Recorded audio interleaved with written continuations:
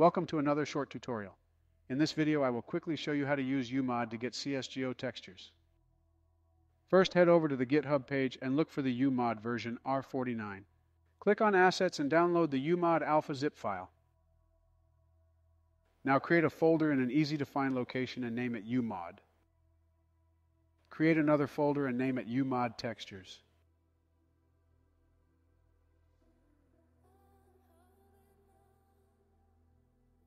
Now place the zip file we just downloaded into the UMod folder, then extract it in the same folder. Inside the folder you will find the UMod X, just open it.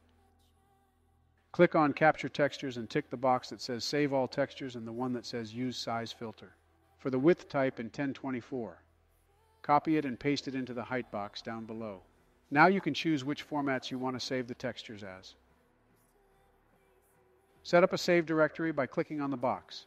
Choose the folder we made earlier, UMod Textures. Now save the template into the UMod folder or any location that is easy to reach. Give it a name you will find.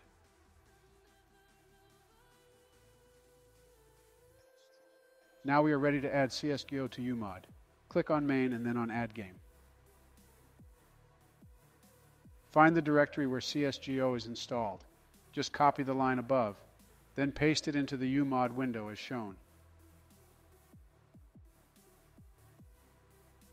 Click on the CSGO X, then click Open. Since I already use UMod, I got this error message. Yours should say that the game is added, or something similar. Now click on Add, and then on Start Game with Command Line. Select CS as the game, it should be the top one, and paste the command line in the box. You will find it in the description. Then click OK. Now load up the template we saved and it should look like the one in the video. CSGO will open up in the background. Now minimize UMod and look for any skin you want. I chose a random one I found on CS Float. Just inspect the skin as you would normally do.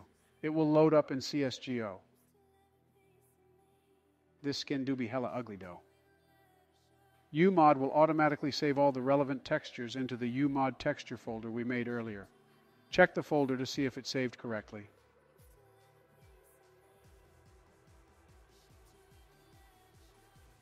Again, you can inspect any skin, knife, or glove you want and it will save them to the folder.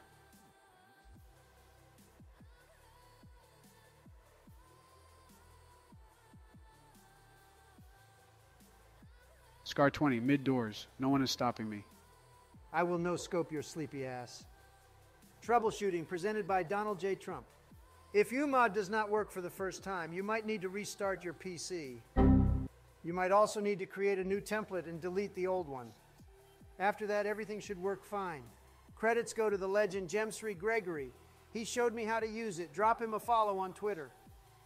Thanks for watching, ladies and stinky CS players. Make sure to follow this channel and join the Discord server that is linked down below. It is an CSGO artwork server that you can use to get help and showcase your art.